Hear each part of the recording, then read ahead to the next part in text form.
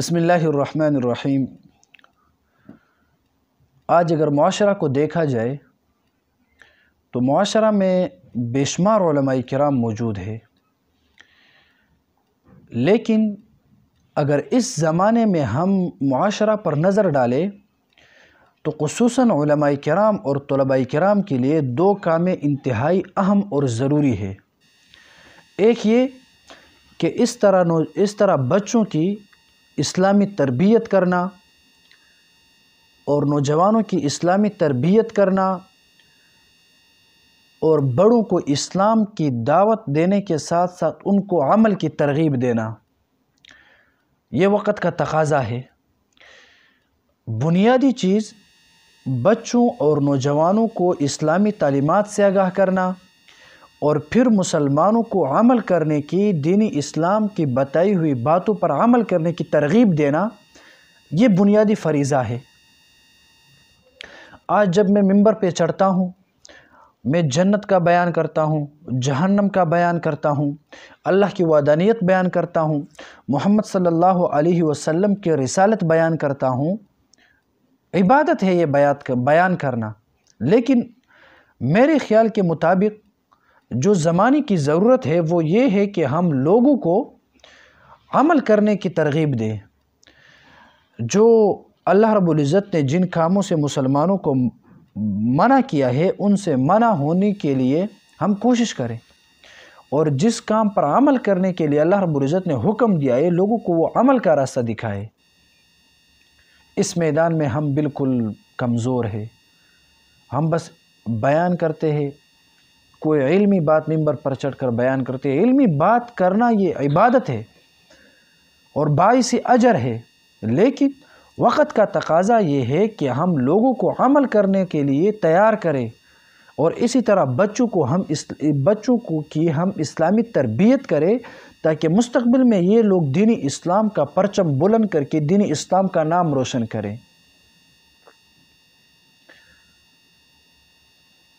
और तीसरी बात यह है, मेरी सबसे बड़ी कमज़ोरी और मेरे दोस्तों की सबसे बड़ी कमज़ोरी ये होती है कि हम कुरान पढ़ते तो है, हम कुरान को याद भी करते हैं, लेकिन हमारा जो अमली जो काम होता है, अमल के मैदान में हम इंतहाई ज़्यादा कमज़ोर होते भाई। हम पढ़ते हैं अहादीस नबवी, लेकिन अमल हमारा इंतहाई कमज़ोर है। इसका एक फ़ॉर एग्ज़ाम्पल एक मिसाल ये ले लो। कि आजकल जो सोशल मीडिया का जो इस्तेमाल है, मेरे ख़्याल के मुताबिक तलबा कराम और कराम अल्लाह रबुल्ज़त के हुक्म को तोड़ देते हैं। फेसबुक की दुनिया पर किसी इंसान की तजलील करना, किसी को बुरा बाला कहना, किसी की बेइज़्ज़ती करना, किसी की इज़्ज़ती नफ्स को मजरू कर देना, ये कौन सा इस्लाम और कौन सी इंसानी तरबियत है? और ना तो इंसानी लिहाज से ये दुरुस्त है और ना ही इस्लामी लिहाज से ये दुरुस्त है। हमारे तलबा कराम जब सुबह होते हैं, किसी एक बड़े आलिम के इतने अवसाफ बयान करते हैं कि उस बंदे को अर्श मल्ला तक पहुँचा देते हैं। और कई दिनों बाद हमारे यही तलबा कराम होते हैं, उस बंदे को ज़मीन तो क्या तहतसरा को पहुँचा देते हैं कि ये बंदा ऐसा वैसा हमारे ईमान का आजकल कोई पता नहीं चलता है। मेरी इन बातों से शायद आपका इख्तलाफ भी हो सकता है। लेकिन ऐसा हमें नहीं करना चाहिए।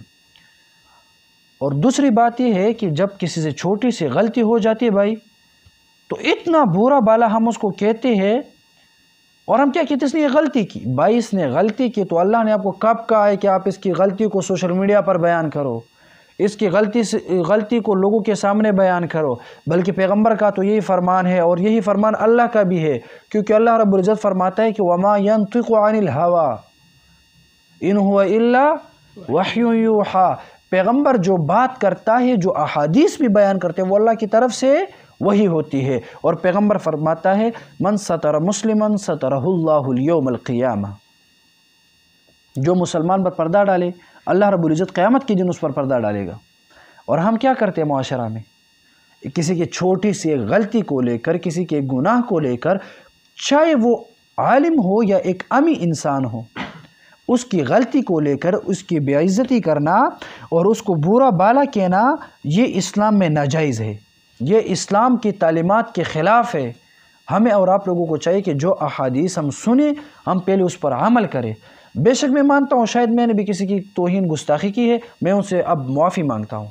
जब से हमने हुजूर वसल्लम के अहादीस पढ़ी है तो हमें हुजूर सल्लल्लाहु अलैहि वसल्लम के अहादीस से ये बात मिलती है कि पहले आपने अमल करना है, उसके बाद दूसरों को सिखाना है और उन लोगों को आपने अमल की तरगीब देना है। सिर्फ़ मेंबर पर चढ़कर इल्मी बयान करना कमाल नहीं है। बल्कि लोगों को लोगों के दिलों को नूरी इलाही से मुनवर करना और उन लोगों को अपने बसीरत के तरीक़े से उनकी ज़रूरियात को समझना और उनके इश्कालात को समझना और उनकी जो माइंड है, उनमें जितने ख्यालात हैं, उन सबको समझ कर उनको कोई एक ऐसा हल बता देना जिसके ज़रिए से वो इस्लाम पर अमल करने के लिए साबित कदम रहे। ये आलिम का सबसे बुनियादी फरीज़ा और सबसे अच्छा काम होता है। आजकल हमारे साथ इलम तो ज़्यादा होती है, बसारत ज़्यादा होती है, लेकिन बसीरत के मैदान में हम खाली है। क्यों? हमारा अल्लाह रब्बुल के साथ ताल्लुक़ इंतहाई कमज़ोर है। जब किसी बंदे का अल्लाह के साथ ताल्लुक़ बढ़ जाए तो अल्लाह उसको बसारत के साथ साथ बसीरत भी अता करता है। और मैं दावे के साथ कहता हूँ कि एक लाख दर्जे का बसारत रखने वाला, दो दर्जे की बसीरत रखने वाले के साथ मुकाबला नहीं कर सकता है।